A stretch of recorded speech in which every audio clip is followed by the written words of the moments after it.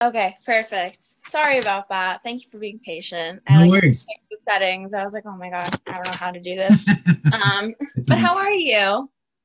I've been good. I've been good. It's been uh, it's it's just I have a crazy day because uh, we just dropped a new song today, so I'm just. I know. I just heard it. It's Yeah. so good. Ninety days. Um, yeah, 90 days. amazing. You want to talk about that for a bit? Yeah, so uh, 90 Days is a song that I've had for a while now, I guess since like last year, and it's uh, it's really just about my obsession with the show 90 Day Fiance. My girlfriend and I we watch it every Sunday. That's our favorite show, and Oh my god. I kind of wrote it based around that.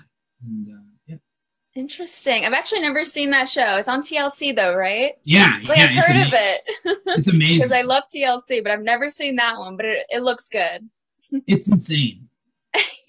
It's amazing and insane, and yeah, I love it. I have to watch it. Um, I was like listening to it though, and I was like, you have such an interesting sound, and I think it's amazing. Um, I was listening to that song though, and I feel like I heard like a little jazz influence. Like I heard a bunch of different like types of influences. So like, Um, who do you love? Like, who influences you?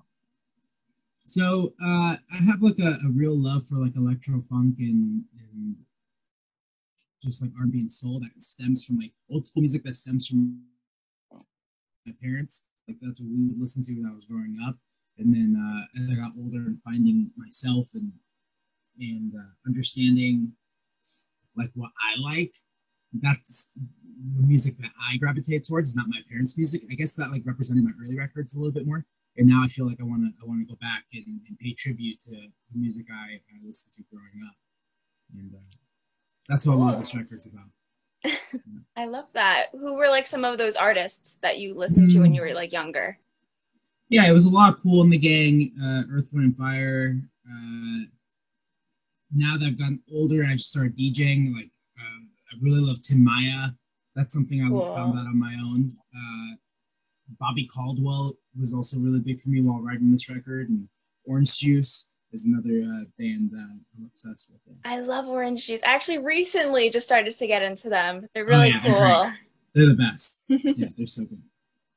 Very cool. But then yeah, so it's like you have the single, it just came out today, but then you have the album coming out in January, right? Yeah, it's a curse. It's a cursed year. Uh, we're not putting it out in 2020. It will come out 2021, and hopefully things are open up again, and maybe we play a show. I don't know. I can't make these predictions. I'm just talking out loud now, uh, thinking out loud, and and I think uh, I think something will happen. I think I think the world will open up next year. I don't know. I can't say that for sure, but I hope so.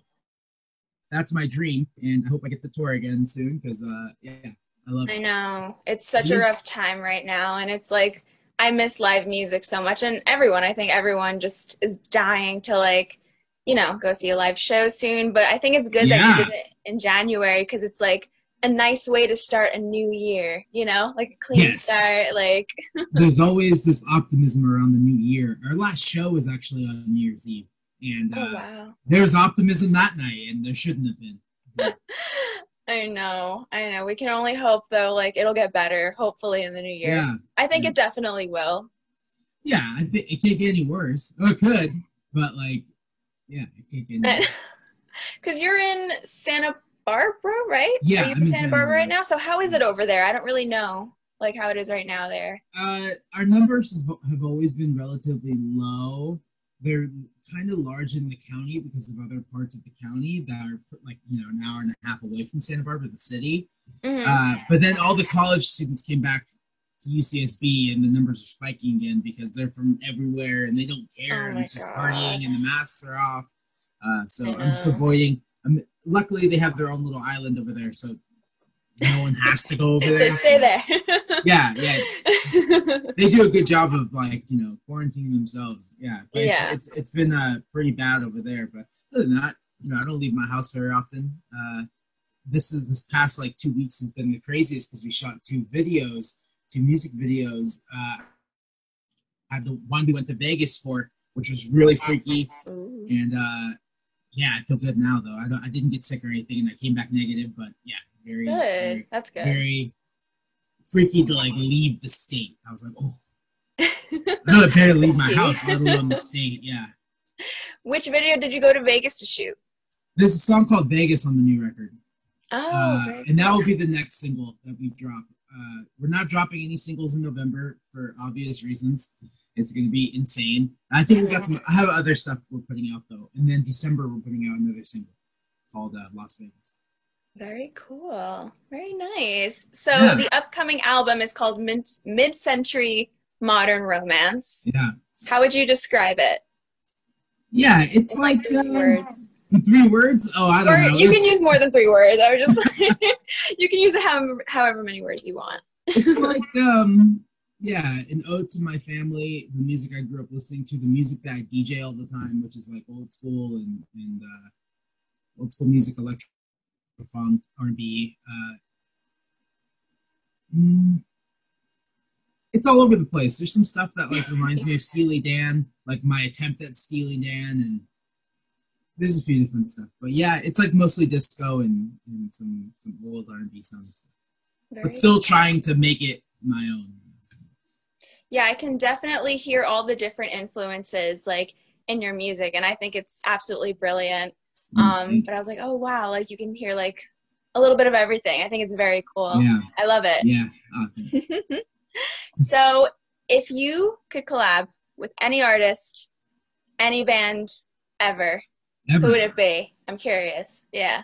Uh, let's see. I think, I think, I think I'd have to go with Edwyn Collins from Orange Juice. Uh, he's just like someone I absolutely loved, and and I love the way their career trajectory kind of went, where they went from rock and roll and then started doing like more dance music. And mm-hmm. that's like exactly the blueprint I kind of followed, where I went from my surf and my you know, alternative rock or whatever to this now dance music, and, and they're a big ins- inspiration for that. I, I really, I've always loved our artists that kind of have like periods. So, you know, Bobby Darin was like Splish Splash, and then he did Beyond the Sea, and then he did If I Was a Carpenter. Like, there's like three different periods. And I don't know. I guess this this is probably my second period here that I'm in, which is like. Very cool. Interest. So you really like Orange Juice. I love Orange Juice. Yeah, they're one of my favorite bands. Yeah, he accidentally followed me on uh, Twitter once. Edwyn Collins. I like sent him a tweet, and uh, I think he, yeah, he he definitely hit the reply, but he hit follow. So I was gonna say he accidentally followed you. yeah, he just replied to my tweet and then ended up accidentally following me, and then I noticed like five minutes later he unfollowed me, which is Oh my god, no way. I don't I don't expect him to follow me. Yeah. Oof, no. But like, I mean, he so he replied to your tweet and then Yeah. also followed you. That okay. Well, I mean, he By replied to your tweet, which is cool. But like, I'll take that. Yeah, but yeah. I'll always take that. God. So I was looking through your Instagram, um, Yeah. and I believe it was last week. I saw you posted on your story. Somebody got a tattoo Yeah, I, for one I of your songs. I guess that's the uh, first the first Dante Elephante tattoo. I guess it, it's it's out there now, which is pretty pretty amazing. I was like in sh- shock. I And, uh, that's like surreal. I saw that. I was like, oh my god, I Mm. can't even imagine like how cool that is. Like someone got a tattoo of one of your songs. why would someone do that? I don't No, know, that- but but I love it. Oh, that's sick. That's awesome. I was like, It's oh my god, like what a feeling. Like Yeah, I was just like going. I was just driving to go buy a salad. Like I ordered a salad, and then I went to this place to go get it, and I was like, "What the fuck?" I was looking at my phone. I was like, wow. That's amazing. It's amazing." But also, why would you do that? I don't know. It's it's uh it's from they the love last, music.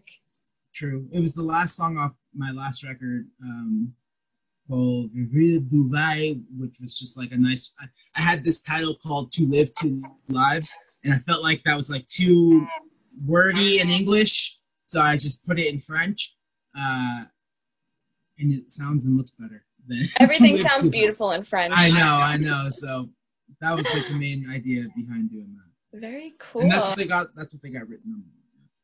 Very nice. I was also looking through Instagram and I saw you have a podcast, which is Yeah. awesome. Very cool. So when did you start doing that? Uh, I I did like three episodes at the end of 2008. No, at the end of 2019, and I, it was audio only. And it got to the point where I was like, I don't, I don't know. I want to put them on YouTube. Like the big idea was like to put content out on, on YouTube that wasn't music because I can't realistically put a lot of music on on on YouTube. Like uh, making music videos kind of expensive. It's super expensive to make music videos. So I thought, like, you know, what's I love podcasts. I watch a lot of podcasts on YouTube. Uh, I could, I would love to do one. And there's, I noticed there was a, a need in that space of like artist interviews and because mostly interviews end up on blogs like yours or other stuff like that. Like, are you putting your stuff on YouTube? Yeah, I am. I put them on YouTube and then I put them on the blog. Like I embed the videos. Yeah.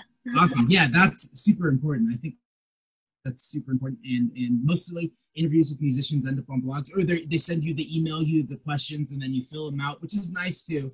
Yeah. But uh, there's something great about just listening to an artist for an hour, hour and a half, two hours, or whatever it may be, like uninterrupted, and you can talk about anything. And and I really love that idea. So I thought I'll do this, and I'll talk to my friends who I know, and then once I get more comfortable, I'll reach out to people I don't know, which is it's really scary. And then uh, yeah, but mostly yeah, it's mostly so far just a lot of my friends. There's only a couple of like I don't know this person at all, and I'm going blindly into an interview. Oh really? Yeah, that's those are the scariest ones. Yeah. Because I feel like you've had some like cool people on there. Like I was listening, I saw you did one with uh, Jonathan Rado. I was yeah. like, oh, very cool. You're very yeah. good at it. You're very natural. like. Um, Rado and I, Rado did my first record.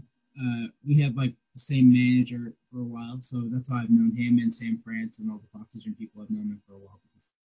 Nice, very cool. Yeah, I was like, oh wow, he's like really good at it. Like very calm. Like, very, you were no, it's like it's harder than it looks. Like I feel like interviewing. Like even when I started, I was like, oh my god, like it's a little like nerve wracking. But no, you're really yeah. good. Oh, thank you. Yeah, it's it can be very nerve wracking, and a lot of musicians don't like to talk, which I found out. Maybe mm-hmm. that's why we don't get interviewed a lot. Maybe that's why they just stick to the questions on the email but a lot of them don't like to talk and they're one word answers, and then you're kind of like, okay. You're like, mm-hmm, yeah. Anyway. Yes. yes. Moving on. Uh, yeah. yeah, I. It happens all the time. I've experienced that before, but I feel like for the most part, like there are a lot of like musicians out there who do like love to talk about it and it's like i hmm. appreciate that you know like i hmm. appreciate the the conversation so. Yeah i appreciate yeah. it too. I think there's something weird like in in us that like doesn't want to like overly talk because we're so used to being at shows or like at a bar where it's like you don't want to like talk someone's ear off because then you're annoying, but you realize that this is the medium you're allowed to talk your ear off and yeah, be annoying. Like, talk you, my ear off. Talk. yeah, talk all the time. But most times, like, well, I don't want to bother you. I'll, I'll talk to you later. Like, and then you find. And it's like, no, bother me. It's fine. Yeah, but that's I why I brought you on here to, to like, bother me. want you to talk. Yeah, yeah, exactly. You get it. Yeah. Totally. I've done enough of these now where I just like keep going and going and going. Exactly. Yeah. With each one, I feel like it gets easier and you learn more and mm-hmm. all that jazz. it's definitely like doing a podcast has, has led more people reaching out to me to talk, which is nice because before I never like got asked to do this stuff, but like the more and more that people see and people find out about the podcast, it's like, oh, like, do you want to do mine? Like, and it's like, okay, yeah, I didn't even know. Even if they're small, I'll do them just because it's like fun and, and you never know.